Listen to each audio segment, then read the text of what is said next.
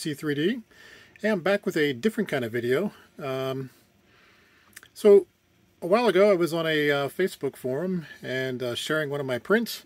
It got a lot of attention and that attention brought to me uh, somebody that asked if I wanted to uh, review their filament, try it out uh, and post a video, see what I thought. Sure. I have lots of filament here, but I've always kind of stuck with two, three brands, and that's it. I've been doing uh, 3D printing for a year, so hey, I'm really curious to see what else is out there. Is it good? Does it all kind of print the same? Uh, is this going to do something more amazing than uh, some of the others I've used? We're going to find out. So I'm going to switch to um, my desktop camera here. We're going to unpackage, see what it's uh, see what it's all about uh, stick it on the printer and uh, run some prints. Let's take a look. Alrighty. Well, here's the package I received. Uh, the company is RepRapper. Um, haven't heard of them much before. They, do offer their filament um, on Amazon, so that's where you can go get it. I'll put some links down below.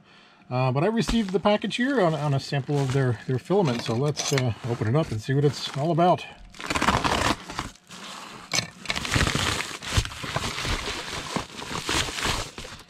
there we go.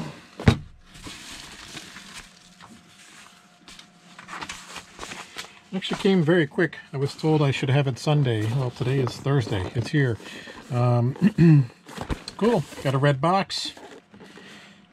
Some links to their site, Facebook, YouTube, Twitter, and TikTok. Um, all right, this is the RepRapper White PLA. Um, so asked for PLA. That's primarily what I um, I print with. So let's, uh, let's see what's in the box.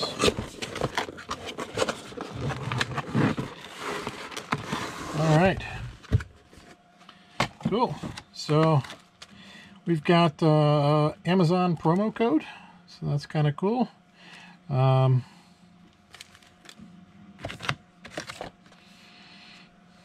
another card here, um, you know, satisfaction card and the filament. It's a pretty neat spool there. It's kind of like a marble color. Um, I've never seen anything like that. Um, it's white, PLA. Uh, recommended printing temperature is 190 to 240.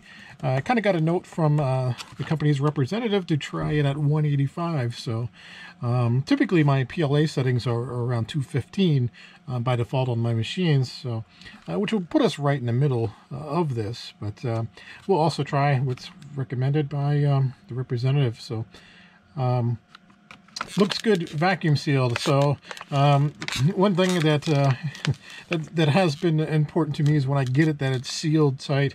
I've had a few spools um, over the year that um, you know that you've got it in the no vacuum seal on it. It looks like it was supposed to be but it wasn't. Um, they've had to dry out that filament um, before using it. So this is vacuum sealed tight which is good. I, I have a, a, brand I use now that um, not all of them come vacuum sealed and they work, but you know, what if their location before wasn't uh, very dry? So um, we do have the, the silica gel packet in there, so um, that's good to keep the moisture out. Um, always love to hang on to those, and I throw those into my my storage bins. I've got some seal tight plastic tubs, and I just you know, every time I get a new roll, throw those in there. Um, keep pulling the moisture out of those containers, keep my filament nice and, and dry. So let's break the seal. And then uh, we're gonna get ready to do some prints. Maybe I'll do a time lapse here or before and after or during the print kind of kind of video shots. We'll, we'll check it out. I'm really liking that spool though, I must say. Um, it actually looks um, looks nice and slick, which is kind of cool. So it's nice and smooth on the inside, which uh, would definitely help um, spool easier. A couple of the rolls I've got, actually I just have a roll right now I'm, I'm running that um, it's rough and there's actually some plastic bumps in there and uh, yeah, that could really screw things up. So um, yeah, uh, I'm kind of looking forward to using it all and uh, and having this spooled kind of afterwards to uh, do things with. Uh, we do have the um, the holders here for um, your spool once you, you start going. Um, yep, it is in one of these to start, so you don't have to hunt for that. You know, looks good. Looks white um, as advertised, but uh, yeah, let's see how it prints. I'm curious to see what the, the temperature of 185 will do. I, I haven't done anything that low. Uh, I'm typically not a person that um, does the, the temperature towers um, that, that you'll see on forums and other things. I just kind of, um, you know, kind of split the difference and start from there. If it looks good, it looks good. Um, if stringing's happening or, or under extrusion or, or, something's happening, then I adjust that. But um, I always kind of shoot from the middle, but I'm kind of curious to see what happens at that low. It make it much better? So um, I do currently have one of the prints in my um, in my lineup that I do sell that is um, that is all white. So this will be a great test for this. Um, I'm going to get it loaded and uh, take it from there.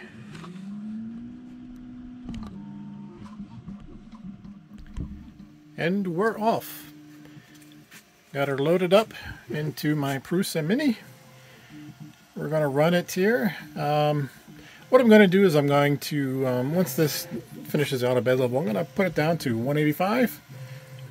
We've got the time-lapse camera going. See how that goes, because it's going to take, this is a four-hour print. In four hours, I'm not going to be here, so um, we'll kind of follow up when I um, get back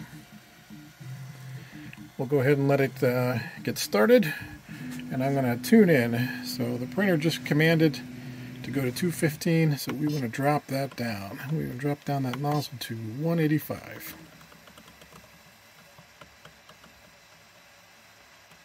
there we go.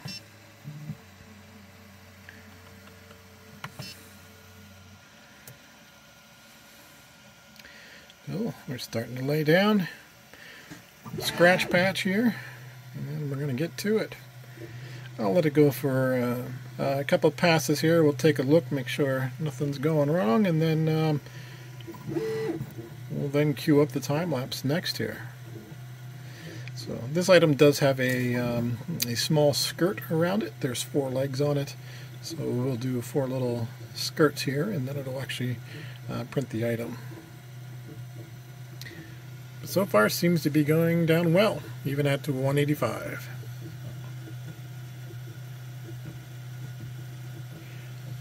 While this is taking place, let's go over it and scan over here to that fancy looking spool again. Do hear a little clicking. I do think that temp may be a little low. So, hey, let's bump it up and see what happens, see if we kind of clear that a little bit. I'll go back up to my 215.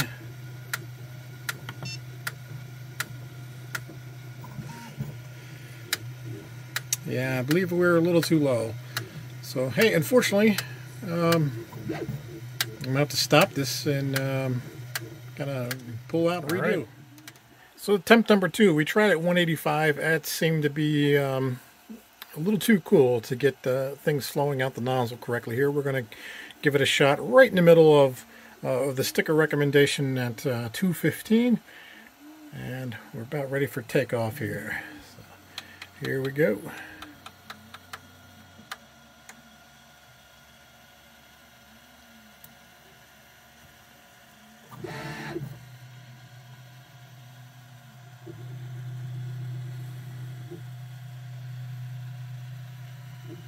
This is looking much better. We can, I could kind of see in the um, before that things were looking a little a little thin there. We just couldn't extrude quite uh, as well.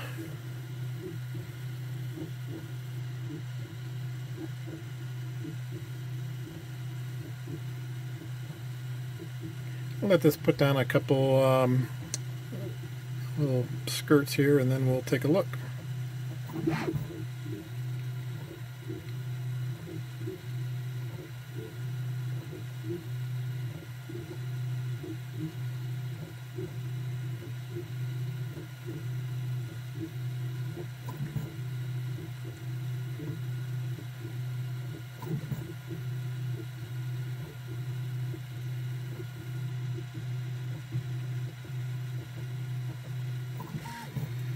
Yeah, looking pretty good now. So we got some nice skirts laid down here for my item. Once these four are laid, we'll actually officially start taking off with the print. A nice little thing too here I've noticed on um, slicing with um, Prusa slicer on my Prusa. Um, it kind of still puts this um, brim around before it does the skirts. I kind of hold those steady. In case you're having sticking issues, it kind of still holds the whole print together. So a really cool thing. Um, this print kind of builds a bridge from these legs up. You know, it's just an added um, structure there to keep things together. All right, just finishing up the fourth skirt here on my print, and then uh, we'll, we'll take off.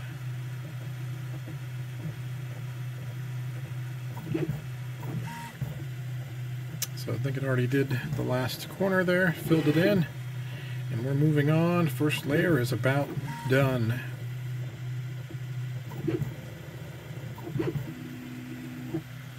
Cool. Now I believe we're going to our our second layer here. And I believe we are. It goes much quicker after that first layer is down. Again, this is a four hour print.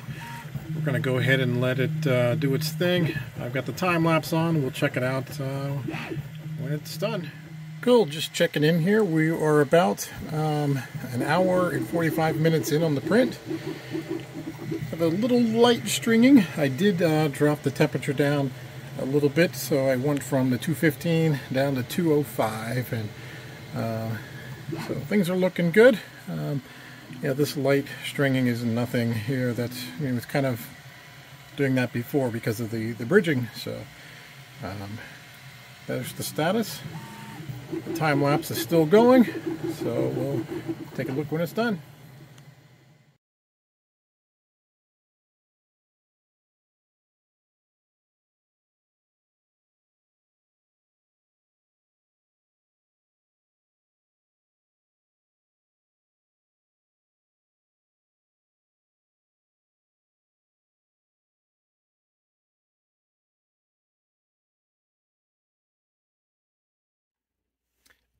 And here's the finished product, folks.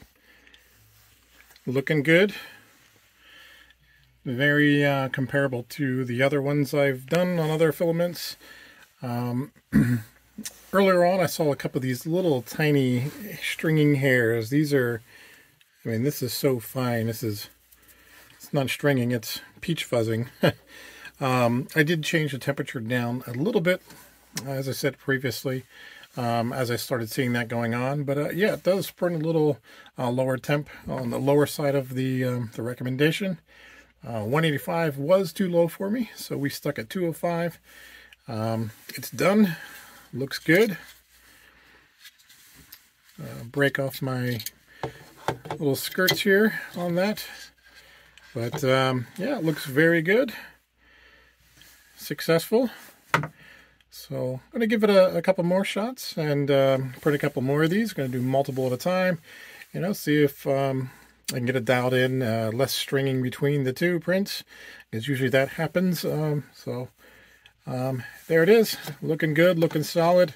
Um, this is really a, a, rough draft, as you can see. It's um, my layer lines are uh, still kind of thick on it, but but it's all in all, it's comparable to all of my other filament all right, and wrapping up here with this RepRapper white filament. I printed a few of these teeth that I can make here. They're uh, business card holders. And this is one that I have created before. So kind of comparing the two um, to this other filament I was using, I actually really like the more pure white color of this. This is kind of got like a bluish green tint and you can see through it a little bit so I really like that. Um, I think I will use the rest of this spool uh, to create some more of these. Um, and again in the beginning we did have some really light, I mean so super light stringing. Um, it really didn't even matter. It just they kind of wiped right off. Um, he said I did have to take the, the filament down. I, I normally run it at a 215 uh, and I dropped it down to um, initially 185 uh, per request. That was that wasn't cutting it. Uh, 205. 205 is where I, I, kept it at, so it does go a little lower uh, than what I'm used to with other filaments. Um, all in all, pretty good. I mean, the quality is um, is very similar to what I've had before, maybe a touch better, uh, but I definitely like the color. More of a pure white, uh, not as translucent as some of the others I've had. So, um, yeah, good stuff. Check it out on um, Amazon. Uh, I did see that they also have a, a rainbow colored. I do um, often print um, like rainbow color items. Sorry for the mess, but um, yeah, I'm definitely going to give a roll of that rainbow filament a try. So check out up below in the description for a link to find them on Amazon and their website. Um, thank you, uh, Rep for sending me a roll to check out. Um, I enjoyed it. It was a little um, iffy at first, but we got that temperature sorted out. Um, so, hey, thanks much for watching.